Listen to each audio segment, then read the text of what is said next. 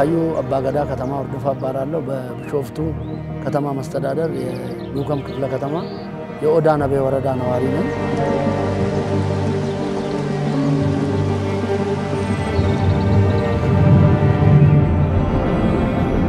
ክረምት ማለት ጨለማ ማለት ነው። ቀን ተሌሊት የሚዘንብበት ነበረ። እንዲህ እዚህ ማሳ ውስጥ መገብተ መውጣት ማትችልበት፣ ዘመድ እንኳን ለቅሶ ሲሆን ራቅ ያለ ቦታ መሄድ ማትችልበት፣ ውሃ ይሞላል፣ ወንዞች ይሞላሉ። ያ እንደዛ አይነት ነገር ነው።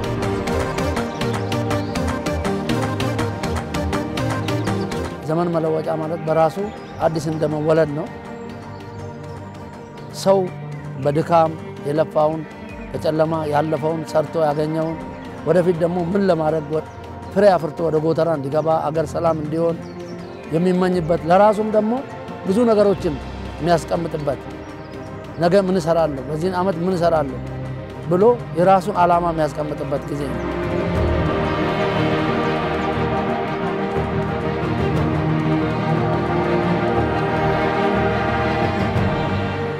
መስከረም ምን ይዞ ይመጣል?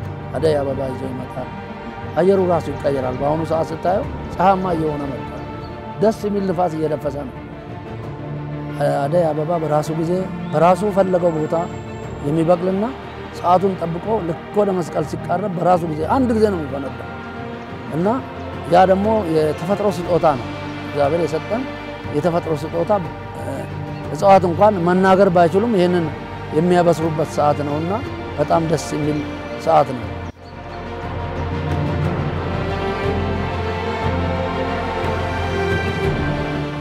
አዲሱ ዓመት ሲመጣ እንደ አባ ገዳም እንደ ሀገር ሽማግሌም ለኢትዮጵያ ሕዝብ የሚመኘው የትላንትናው ፍቅር ወደ እኛ ተመልሶ እኛም አንድ ሆነን እችን የመሰለች ሀገር የሰጧትን የምታበቅል አየሯ ተስማሚ እውነት ለመናገር ሌላው ሀገር የሚቀናብን ሀገር ናትና እዚህ ሀገር ላይ ሆነን አይደለም መጣላት በኩ እኛ ሰርተንም መቼ ጠገብንና ነው የምንጣላው። ስለዚህ መልእክቴ ይበቃናል፣ ጦርነት ይበቃናል፣ በእርቀ ሰላም ጉዳያችን እንጨርስ። አባቶች፣ አባገዳዎች፣ የሃይማኖት አባቶች አንድ ላይ ሆነን እርቀ ሰላም እንዲወርድ ጸሎት እናርግ። በተቻለ አቅም ደግሞ እናስታርቅ። እግዚአብሔር ባለቤቱ ኢትዮጵያ ሀገራችን ይባርክ።